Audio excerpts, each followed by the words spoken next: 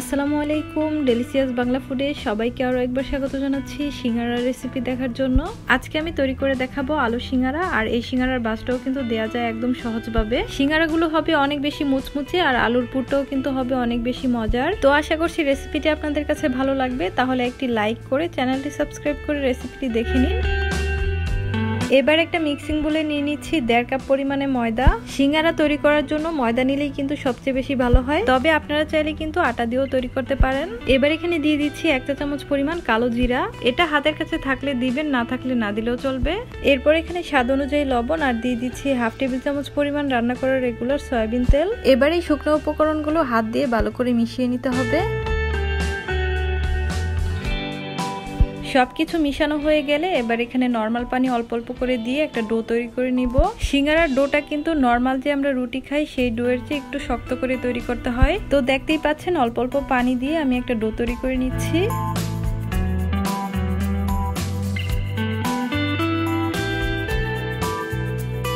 ডোটা তৈরি করে নিয়েছি। এবার এই ডোটাকে একটা ঢাকনা দিয়ে ডেকে রেস্টে রেখে দিচ্ছি আর অন্যদিকে আলুর পুরটা রেডি করে নিচ্ছি। তার জন্য চুলা একটা ফ্রাই প্যান বসিয়ে এর মধ্যে আমি দুই টেবিল চামচ পরিমাণ সয়াবিন তেল দিয়ে দিয়েছি। এবার এখানে হাফ চা চামচ পরিমাণ পাঁচফোড়ন দিয়ে দিলাম। পাঁচফোড়নটা তেলের মধ্যে ভাজা হয়ে গেলে এর মধ্যে দিয়ে দিচ্ছি মিডিয়াম সাইজের দুইটা পেঁয়াজ কুচি। এবার পেঁয়াজটাকে হালকা ব্রাউন কালার হওয়া পর্যন্ত ভেজে নিচ্ছি।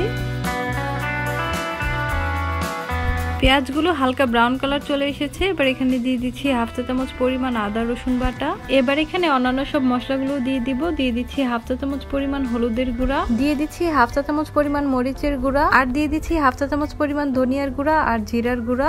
এরপর এখানে স্বাদ অনুযায়ী লবণ দিয়ে আমি মশলাগুলোকে খুব ভালো করে কষিয়ে নিয়েছি। এবার এখানে দিয়ে দিচ্ছি কেটে ধুয়ে পরিষ্কার করে রাখা আলু। এখানে আমি মাঝারি সাইজের দুইটা আলু ছোট ছোট কিউব করে কেটে ধুয়ে পরিষ্কার করে রেখেছিলাম। সেগুলো এখানে দিয়ে দিয়েছি। এবার মশলার সঙ্গে আলুগুলোকে খুব ভালো করে কষিয়ে নিতে হবে।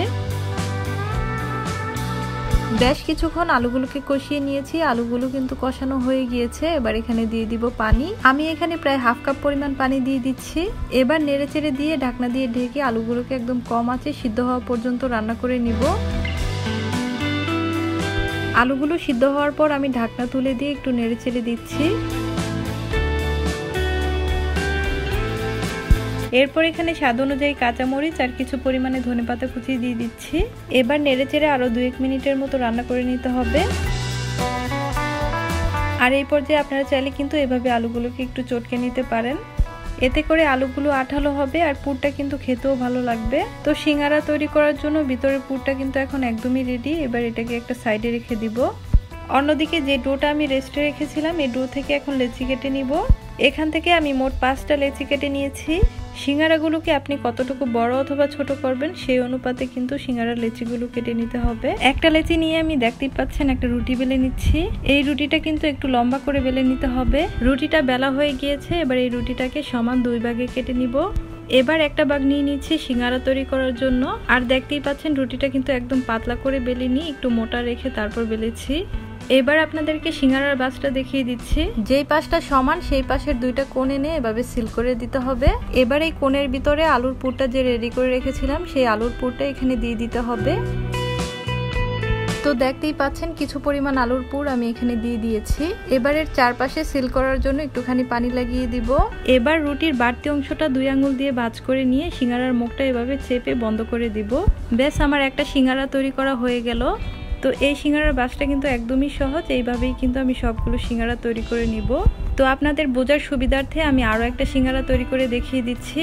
সেম একই কাজ, প্রথমে সমান অংশের দুইটা পাশ ধরে এভাবে সিল করে দিতে হবে। তাহলেই কিন্তু একটা কোণের মতো তৈরি হয়ে যাবে। এবার এর ভিতরে পরিমাণ মতো আলুর পুর দিয়ে দিব।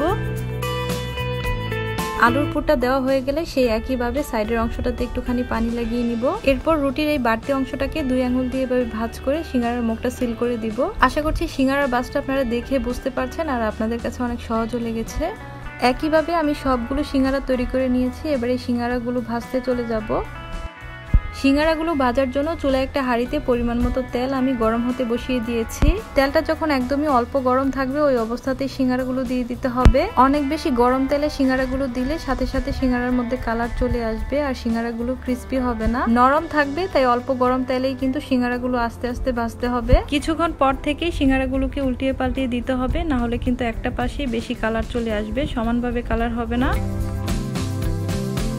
যখন তেলটা একদমই পারফেক্টভাবে গরম হয়ে যাবে তখন সিঙ্গারাগুলোকে অনবরত নেড়ে চেড়ে সুন্দর একটা কালার আসা পর্যন্ত ভেজে নিতে হবে। প্রায় চার পাঁচ মিনিট সিঙ্গারাগুলোকে ভেজে নেওয়ার পর দেখতেই পাচ্ছেন সিঙ্গারার মধ্যে খুব সুন্দর একটা কালার চলে এসেছে। এবার এই সিঙ্গারাগুলোকে একটা ছাকনি দিয়ে তেল থেকে উঠিয়ে নিচ্ছি। তো আপনারা কিন্তু অবশ্যই বাসায় ট্রাই করবেন এই সিঙ্গারাটা তৈরি করা কিন্তু একদমই সহজ দেখেই তো নিলেন। আর এই তো চুলা থেকে নামিয়ে আমি সিঙ্গারাগুলো পরিবেশন করে নিয়েছি। এই সিঙ্গারাগুলো খেতে দোকানের চাইতে কোনো অংশে কম হয়নি বরং স্বাস্থ্যকর উপায়ে বাসায় তৈরি করে খেলেই কিন্তু এটা বেশি ভালো লাগে। তো আশা করছি আমার আজকের রেসিপি আপনাদের কাছে ভালো লেগেছে। ভালো লাগলে অবশ্যই লাইক কমেন্টস এবং বেশি বেশি শেয়ার করবেন। চ্যানেলে নতুন হলে চ্যানেলটি সাবস্ক্রাইব করে চ্যানেলের সাথেই থাকবেন। তাহলে আজকে এখানেই বিদায় নিচ্ছি। সবাই ভালো থাকবেন সুস্থ থাকবেন। আল্লাহ হাফিজ।